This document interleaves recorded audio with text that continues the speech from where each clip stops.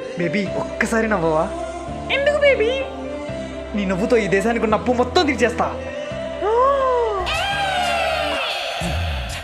చెప్పు నిజం చెప్పు బేబీ మరి పళ్ళు తొంగొచ్చుగా కంపు కొడుతుంది.